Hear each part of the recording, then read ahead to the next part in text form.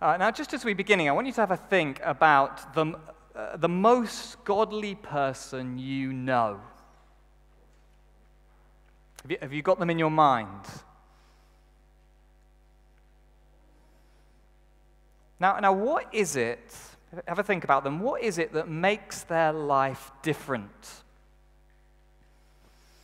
I don't know, perhaps it's a, a gentleness in stressful situations or a a, kindness to those who are nasty to them, or a, I don't know, a peaceful strength, that, that kind that kind of shines from them in ordinary life.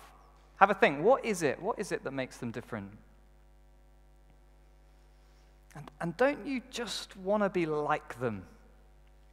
I do. You know, one person I can think of just, just pours out generosity and, and hospitality in a, in a way that always makes you feel welcome. And, and today's passage is one that is here to inspire us, like, like those people, to a greater, more glorious godliness. That's what it's here for. And it, and it does it rather than showing others right now, it actually shows us the future.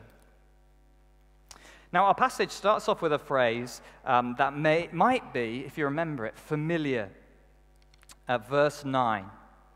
Then came one of the seven angels who had the seven bowls full of the seven last plagues and spoke to me, saying, Come, I will show you. If you cast your minds back, it may remind you of chapter 17. That's exactly how chapter 17 begins. But then in that chapter, rather than showing us the bride, the angel was showing us the prostitute, Babylon. If you remember, it was a city of wealth, of pleasure, of power. If you, if you remember, it represented life in this world. even though it was written thousands of years ago, um, the, the, the, the picture it felt very familiar, didn't it? It was a picture of the world around us, our friends and neighbors going around their usual life, our institutions, our political powers. But that was chapter 17. Here, John's now giving us a comparison starting with them both in exactly the same way, he's wanting us to compare them. He's like, compare these women, the, the prostitute and the bride, compare these cities, Babylon, the New Jerusalem.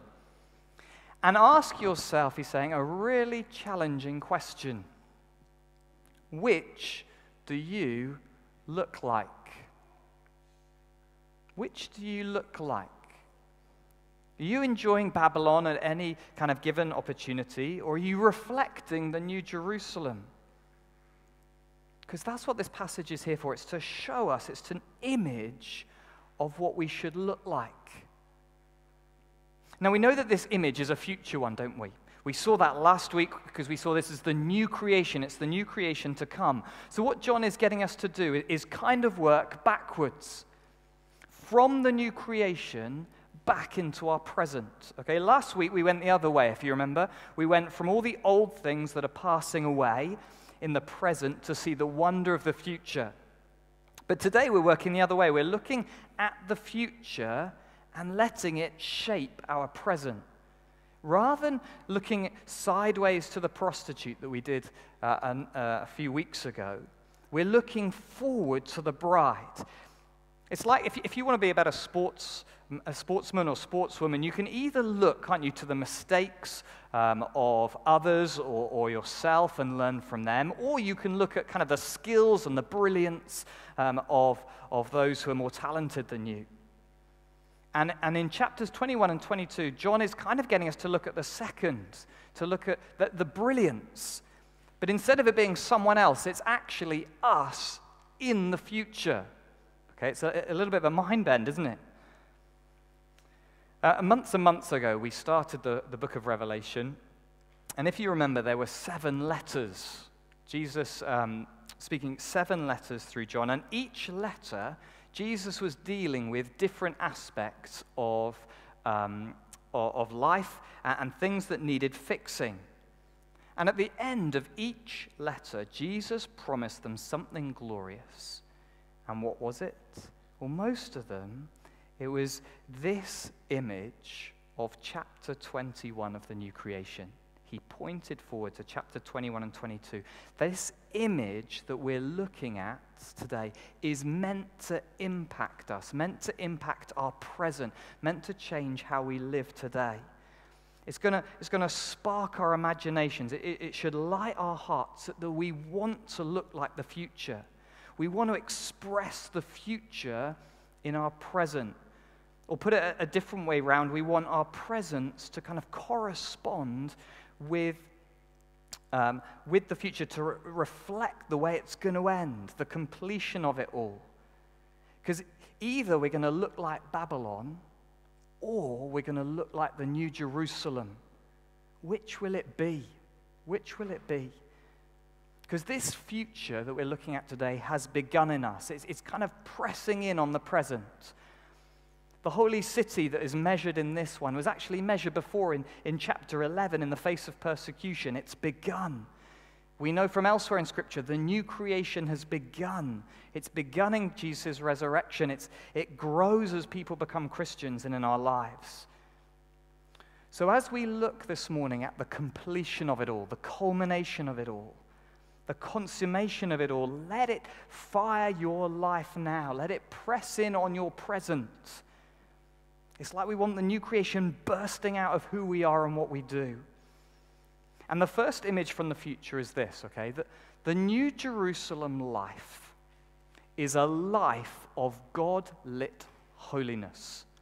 A life of God lit holiness. Okay, now we're going to get into this image in a moment. But a key to understanding it is this, okay? We are the temple city. Okay, as we'll see, uh, over the course of this passage, John uses metaphors in different ways. But this first picture that he gives at the beginning, this image of a, of a temple city, it's a symbol of people. We're not walking around with walls around us in the new creation. In a sense, we are the walls. We are the streets and the gates and the stones. Okay, I'll, I'll just briefly explain why I think why we should understand it like that, but it completely changes how we read this passage, and it is glorious. Now, why do I say with that? It's because the bride that he's uh, told about at the beginning represents people. We saw that last week. And the bride is the city. Then there are lots of these numbers 12s. You probably noticed them as we went through. We've, we've got 12 gates, 12 foundations, 12 apostles, 12 tribes. There's 12,000 stadia, uh, which is a measurement. And 12, if you remember, is the number of God's people. We've seen that throughout the book. But there's also something amazing about these 12 stones, 12 foundations of different colored stones in uh, 19, 20, and 21. You may have thought, why all the detail? Why are we being told these different stones? Well, these stones, or the, the Greek equivalents of these 12 stones, were actually put on the high priest's clothing in the Old Testament, each one representing one of the tribes. So he would have on his front 12 small stones, each one uh, with the name on. So, having all 12, uh, that meant as the high priest went into God's presence, he was representing all the people of God. In other words, all these 12 foundation stones are actually the people of God. That's the picture. So, as we look at this image, we need to realize God's people are the stones. We are the building, this city, this temple. And this is a glorious vision of purity and holiness. Verse 10 And he carried me away in the Spirit to a great high mountain and showed me the holy city, Jerusalem, coming down out of heaven from God, having the glory of God, its radiance like a most rare jewel, like, like a jasper, clear as crystal. Then, verse 18, that the wall was built of jasper, while the city was pure gold, clear as glass. And then he lists these, these glorious precious stones jasper, sapphire, agate, emerald, onyx, carnelian, chrysolite, beryl, topaz, chrysoprase, um, jacinth, amethyst. They're, they're, pushing my pronunciations. They're, then giant pearls. Did you see them in 21? The gates are a pearl and then he finishes again the street of the city was pure gold, transparent as glass. Just, just imagine it. Okay, these walls of precious jewels, gold, pure gold. Now, I haven't seen much gold in my life, except when kind of visiting a, a, a royal palace as a tourist. But the color, the beauty, the, the rich light it brings. And here is pure gold. There's no impurities, there's no smudges, no black streaks, no dimming or reducing of its majesty. The streets are pure gold. And then precious jewel upon precious jewel. Imagine the colors. I was chatting to someone recently, and we were saying how some of us struggle with different shades of color. Uh, it's just blue or it's just green. Perhaps that's you. There's no such thing as sky blue or cornflower blue or royal blue or, or navy blue. No, it's just blue. But here, I reckon we'd see all the differences. The deep greens of emerald, the rich blues of sapphires the, and topaz, the extraordinary red of, of jacinth, and the purples of amethyst. Such beauty and there's an extraordinary purity. Did you notice it's mentioned three times? Clear as crystal, clear as glass, transparent as glass. This is an extraordinary vision of the people of God pure and holy. People living lives as they were meant to live lives of love and joy and peace and patience and kindness and goodness and faithfulness and gentleness and self control. Christ like lives. But, but why stones? Why glass? Why gold? Well, not only are they precious and beautiful, but they're precious because of what they do with light they need to be lit up, don't they? That's why jewelry shops have amazing white lights in them. If you, if you ever go in one, just have a look. They have these pure white lights shining from above and shining from below. Uh, their, their precious jewels. Why? Because it's then they're stunningly beautiful. It's then their colors kind of reach their zenith and their peak. It, and, and it's the same with the new creation. The beautiful city needs light. Verse 11 The holy city has the glory of God. And so it has a radiance like a, a most rare jewel. Verse 23 And the city has no need of sun or moon to shine on it, for the glory of God gives it light, and its lamp is the Lamb. 22, verse 5 And, and night will be no more. There'll be no uh, lamp, light of lamp or sun, for the Lord God will be their light, and they will reign forever and ever. There is a light, and it is the glory of God. As God is with his people, they shine as they are meant to. That word in, in, of radiance in verse 11 is the same as Paul uses when he says we're to shine like stars. With the glory of God shining in his people, they are, they are star like. The, the New Jerusalem life is a life of God lit holiness. A life of God lit holiness. God is present in a powerful way here. Did you notice that the city is a cube if you're looking at all the measurements? It says its length and width and height in verse 16 are equal. And that's the same shape as the Holy of Holies uh, in the temple in the Old Testament. God is with his people like he's, he, he's in the Holy of Holies. The glory of God shining. This is a God lit life. And what a glorious life it is. The Christian life, it's not meant to be one of dour gray. Okay, it's not meant to be monochrome. It's not meant to be lives drab with moral drudgery, as one commentator put it. No way. It's meant to be lives of extravagant color. of blazing beauty as light shines through every kind of jewel. As God's Spirit, as God's presence, as God's grace shines in us and through us, what an impact.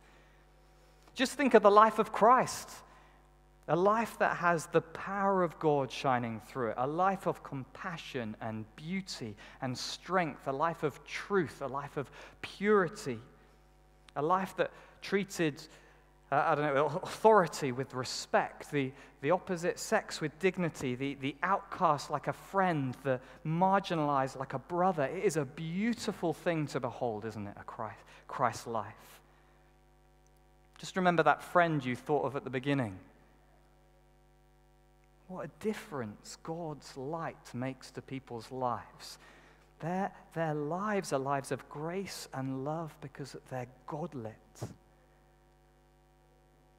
And because it's lit by God, by His glory, for His name, it means we don't have to parade it. We don't have to show off our holiness at the street corner where people see it. No, it may be small, it may be slow, it may be unseen but it's still refracting God's life into someone's life. I'm not sure what faces you tomorrow, but perhaps it, it'll be as you walk into work, you can share a kind word to a tired, hurting colleague as you stand in the queue for the hand sanitizer. Or, or perhaps a moment of patience with your tantruming child on the wet bathroom floor. Or perhaps as you, you scratch a short Bible verse into a, into a card that you're going to send to someone struggling. But let's look like the New Jerusalem. Let's look like walls of beautiful jewels and streets of gold glistening with the light of the glory of God. That's what we're going to become. So may it be so today. May it be so today. But not only is the New Jerusalem life a life of God lit holiness, it's also a life of God nourished worship. A life of God nourished worship. Now, as I said in the beginning, John shifts the ways his metaphors are working and his images. And in verse 22 of, of chapter 21, we start to see uh, this shift. Now, rather than actually being the walls and the streets, people start to walk around this city Instead of a, a symbol of what people will look like, the image shifts to our experience of the new creation. Um, uh, and verse 24 by its light will the nations walk, and the kings of the earth will bring their glory into it. And this is a picture here now we're moving into a picture of worship. Do you see that in verse 24? The kings bring their glory. Verse 26, um, they will bring the glory and honor of the nations. This is an image of, of worship and praise. A king only brings tribute and, and honor, doesn't he, to, to uh, a more glorious king. He, he'll only kneel and offer his allegiance to a greater king. And again in verse, um, verse 3 of chapter 22, his servants will worship him, honor him, glorify him. This is the New Jerusalem life. It's a life of worship. And in chapter 22, we see the setting of this worship, the stage, in a sense. And, and rather than a temple city, it's a garden city. Do you see that? The, the river, there's a river flowing through the city with a, the tree of life either side. It's Eden. But, but it's not Eden. It's, it's a garden, but it's a garden city. It's not back to the beginning. Instead, it's, it's where the beginning was always meant to get to. The whole earth, God's kingdom flourishing under the rule and priestly worship of God's people. This is what Adam and Eve were told to do to work and to keep it and have dominion over it. And this is a wonderful image of fruitfulness a tree that yields 12 kinds of fruit every month, leaves that bring healing. It's a, it's a picture of human beings cultivating, creating, uh, working to the glory of God. Whole lives uh, given as worship to God. It's, it's society functioning as it should. It, imagine it kind of home life where, where the family works together to help each other all the time, a place of peace and, and no fighting or hurt. Imagine an office where there's, there's no backstabbing, colleagues encourage each other, innovate, and, and reach targets together. Imagine open streets with, with no barred doors or dark alleys, friendly chatter rather than kind of a rude silence. This is society as it's meant to be fruitful worship. But again, as we saw with holiness, these lives come to fruition because of God, God Himself. 22, verse 1. Then the angel showed me the river of the water of life, bright as crystal, flowing from the throne of God and of the Lamb. Our worship is fruitful because it's God nourished. The water of life from his throne brings fruit and life and healing. It's like a, like a river in a desert as its, as its watery fingers slip over dried soil, feeding its thirst. So plants begin to sprout, grass begins to grow, flowers blossom into manifold colors. What a, what a vision! of fruitfulness. Just picture the, the green rolling hills of, of Aberdeenshire in the sunshine after days of rain. God is in the midst of his garden city. And so, worship, the, the tending of this garden, is healed and restored because God's life, His love, His goodness is there. And, and if, if life in the new creation needs nourishing by God, if it needs healing and watering and feeding, then how much more now? How much more do we need God's waters of life nourishing our lives of worship? I know I need it to to work for God's glory, not my own, to trust His provision and not be jealous of others, to, to love when I'm tired. I need God's nourishment. And so, what are you nourishing your lives on at the moment? What supports you? What supports us? Jesus said this in John 6 I am the bread of life.